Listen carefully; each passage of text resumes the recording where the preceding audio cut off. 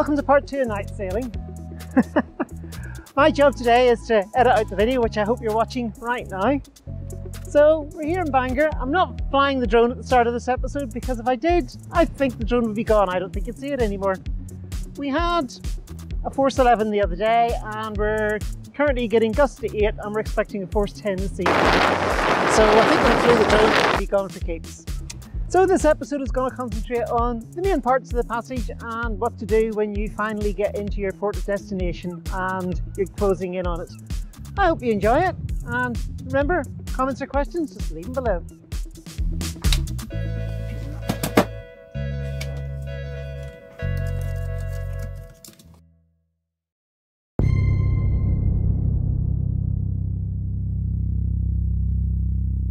Okay, so the passage itself. Um, ideally, your passage will be the simplest part. You always try and plan to have the bulk of the night passage in the area with the least to do, the least hazards, the uh, least work, the least shipping. You know, if you can manage it, plan it that way. It won't always work out that way, but do try your best to plan it that way. Give yourself as little to do at night. I know that sounds boring, but you don't want surprises when you can't see where you're going. So, for instance, when Beverly and I planned the passage to go from Arklow to Carnarvon, mm-hmm. um, there was a section of overflow for, for, falls in the middle.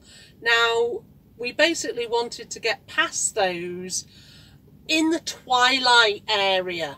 Mm. Um, you know, I wanted to be able to see the overfalls so I could navigate through them in the best way possible. And once we were through them, it was clear water the rest of the way to Carnarvon. So we made sure we did the overfall section in at least twilight. We left early enough and took a foul tide to actually do that. When you're sort of like moving from twilight to, to, to full night, it, it brings us on to a slightly more controversial topic, which is night lights in the cabin. Should they be red or should they be white? Now, long-standing wisdom is use red lights because they don't destroy your night vision.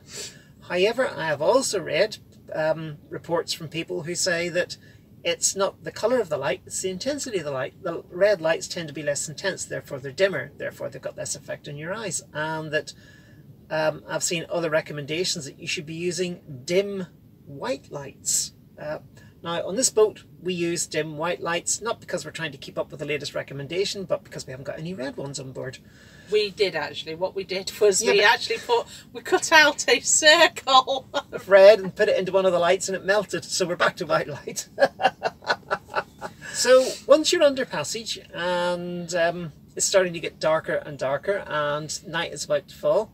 It's generally considered good sailing practice to reef down the sails. If you've got full sail up, put a reef or two in. Um, it will slow your passage. Um, hopefully you plan for that in advance. But also, if the wind does get up or anything like that happens, you've got less sail up, and so the boat will be easier to handle. The main reason that we do that is during the night, uh, Beverly and I uh, do a watch.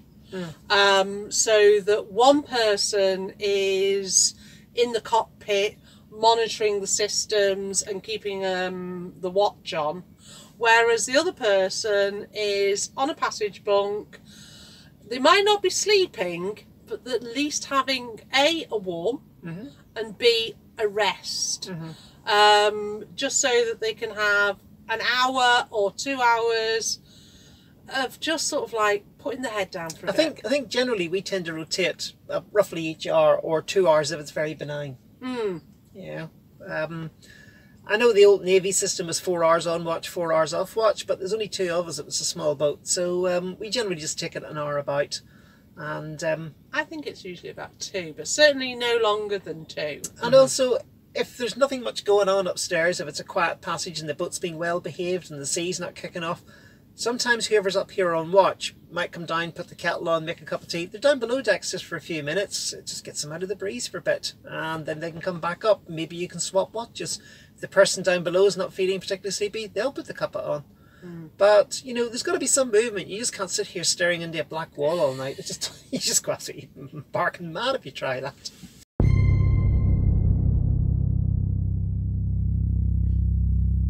So eventually, the passage will come to an end, and it'll come to an end in two ways. It will either come to an end in darkness, or it'll come to an end in light. That's your choice. If it comes to an end in light, it's just normal sailing, so we'll put that to one side and we'll talk about what to do when you arrive in the dark. Now, just before you arrive, um, that is where you start getting into what we call our danger zone. Um, because we're coming closer in, and this is where the pots start to appear. They're usually in shallower water.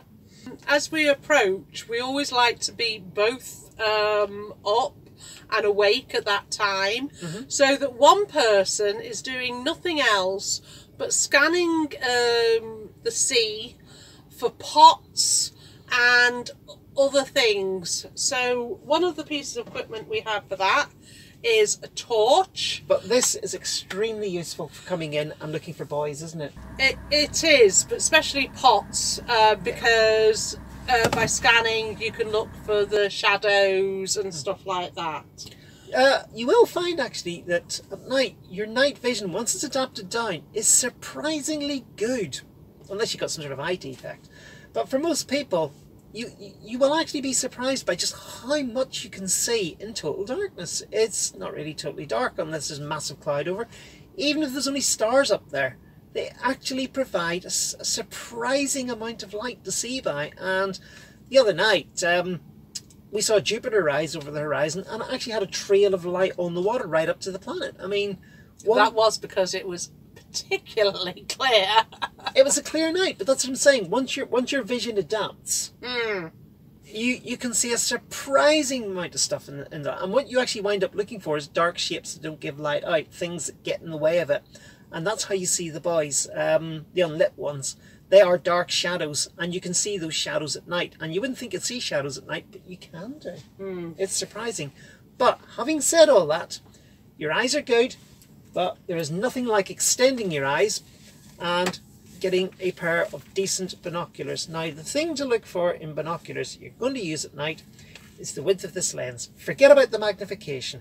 These are 7 by 50s. Wouldn't matter if they were 10 by 50s or 20 by 50s. It's the 50 that counts, the width of the lens, because this is what gathers the light. Compare the size of that to the size of the pupil of your eye, and you can see how much more light is going to go into this. Um, these will show things up at night that your eye can barely see. A pair like this, which obviously we have on board, is useless at night. This is absolutely useless. These, okay, they're bigger than your eyes, but not by a massive amount. Um, the optics in this isn't particularly brilliant, but the image these produce is rather dim. The image these produce is much brighter. So get yourself a decent pair of boat binoculars, and if you can, get ones with an illuminated compass in them too. That is so useful. Uh, now, unfortunately for us, our battery, we need to get a new battery for our um, compass because you do need the light at night. But because our battery light has gone, then we were using our handheld compass. And um, what we did was we charged it up because it has a um, luminescent dial. Yep. We just charged it up and then we used this um, to do the bearings. Yeah, it has an infinity prism on it, so you, with glasses your eye, you can just put it up and you can get the bearing off it. And because the illumin, because this is luminous, the dial is luminous, um, you can read the bearing off it even in darkness. So that was our standby, and that's what we had to use because, like I say, until we get some batteries, the illuminated dial on the compass uh, and the binoculars is out. So that's another useful piece of equipment for coming in at night. As you approach the end of your passage and you're using your binoculars and you're using your um, compass and you're maybe swinging your headlight on a stick around, um, you need to be looking out for the buoys that you studied earlier. When I said familiarise yourself with the approaches, um, this is when you start doing it. Um, paper charts are more useful than electronic charts. I know that's controversial, but it's the way it is. On a paper chart, they actually put beside the voyage its characteristics, including how far away you can see it from. Whereas in electronic charts, you have to touch the thing, go to a menu, dial down, pull up its characteristics, and look at the property. But if you have something like Reeds or a paper chart, it will actually say this is a green light. It is three meters above the surface of the sea. It can be seen from six nautical miles away. the light beside it is a red light, it's five meters above the sea and can be seen from 10 nautical miles away, then you know you're going to see the red before you see the green because it's written on the chart. One time, um, the electronic chart really, really confused me because um, they'd got uh, two cardinals um, on the chart, and I could not see these for love nor money. Whereas I could see another um, light, which was on the layer down. you know, you had to zoom in to see the markings of the light was there. But I could see that first because it was taller. It was. Um, It was 20 meters high, it's the height it of was our... it was exactly it was 20 meters above the sea level so no wonder i could see it It's the height of our mast. exactly Whereas the cardinals were just ordinary little lateral buoy things about... a don't know. meter maybe at most above the sea level so i couldn't see those but it's just that be aware that if you are losing electronic chart to dial in and dial out because sometimes they have markings and things like that closer in that you need to be aware of Also, when you're coming in, have a strategy. Um, when we were going a few a few days back and we um, missed our sunset and we arrived after dark, our plan had been to anchor, but it was an anchorage that we would have had to manoeuvre around through a mooring field and all the rest of it. First, we would have been anchoring in the dark, which gives the deck crew a lot of work to do uh, because you've got chains and anchors and heavy things and electric winches it's not something really you want to be doing in, in, in darkness, to be quite honest. Um, even having the deck light on, the deck light's behind you, so this will all be happening in your shadow. So we decided to take the portable headlight and we shone it around for a bit until we found some mooring balls. And they had retro tape on them, which reflects the light straight back where it came from.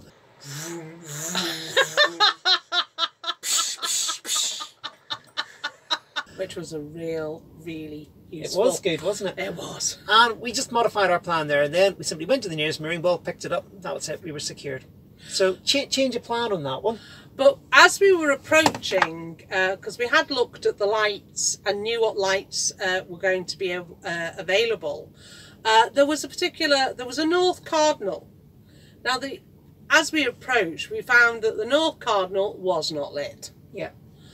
But there were two East Cardinals, and they both were lit. Well lit. Um, so we geared our passage on the East Cardinals because we could see them. And because we'd also looked at the uh, anchorage, the area, the port before we came in, we knew that if we stayed reasonably close to two of these cardinals, we were quite safe for an approach to the mooring field. I didn't need to go and look that up. That was already in the head. Um, another thing that you need to know uh, when you're approaching uh, a marina, for instance, or a harbour or something like that, is what leading lines there are. Now, leading lines I find are particularly uh, useful to see, um, and sectors lights we again have a strategy on those. We do, don't we?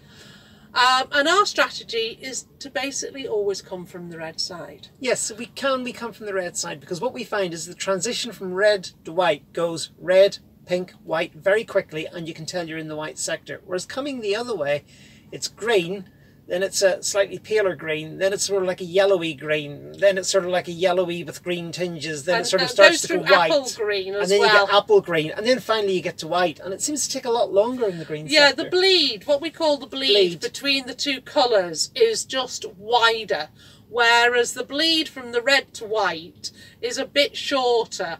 So that's why we have a tendency to go from the red side to the white side if we're going to go on a sectored light. Generally, yes. We have fitted um, additional lights and we've fitted a locker light so that when we come in, we've got extra light to find equipment. It might be that we need to find fenders or Mr. Swifty uh, if we're going to go to a mooring or something like that, but we've got extra light where we need it. Also, as soon as the crew starts moving around on the deck, um, once once you're in, you're at the end of the passage. Your night vision is now less important. Turn on the deck light if you have one. Uh, but it's more important the crew can move about the deck safely than ha- preserving their night vision so they trip over something and fall overboard. That's just not going to help. One of the things to keep an eye out for is other boats. Um, other boats will have their navigation lights on, just like you should have your navigation lights on.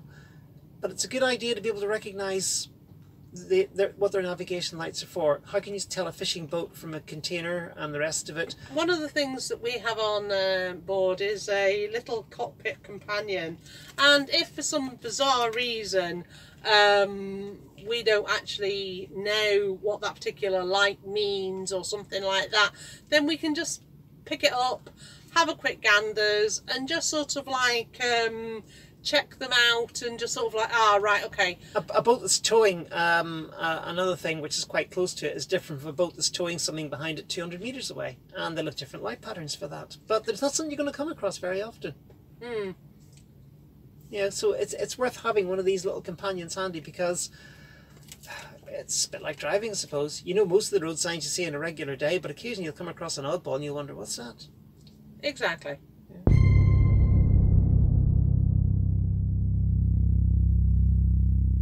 Passages, a lot of it is about preparation. Uh, planning what you're going to have to do at the start, planning what you're going to have to do in the middle, planning what you're going to have to do at the end, and knowing what you're going to have to do and see when it is dark. Always make sure that the tricky bits, um, rip tides, um, entrances, things like that, if you can, try and get those bits in the daylight hours and the boring bits in the night time. I know it doesn't always work out like that, but if you can plan for it that way, do so. Uh, have your crew prepared. Have somewhere for them to sleep if they get tired. Have food uh, or pre-made if you can do it. Alter the crew who's on watch on a regular basis because getting cold and getting tired is not good. Make sure that your boat is prepared uh, for sailing at night. For instance, make sure you've got the right lights. Um, and if you are sailing, reef down so that your passage is a little bit easier and is a little bit less stressful. Make sure you have the right equipment. Make sure you've got decent binoculars, um, a good torch of some description or other, and possibly something like an illuminated compass.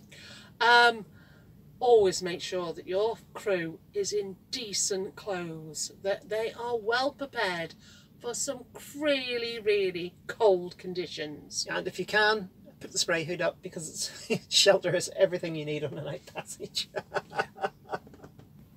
so we hope you enjoyed that and we hope you found it useful. Um, please do leave any questions down in the comment section below and we will endeavour to answer any that you've got in case we missed something. And um, always make uh, you know if you do have questions then do ask them. Um, these um, talks are here for you to um, find out more. So with that, I think we're going to get on with a few little jobs that we've got today. Um, mainly shopping. Mainly shopping. Without everything aboard and we're feeling hungry so it's time to go to the shops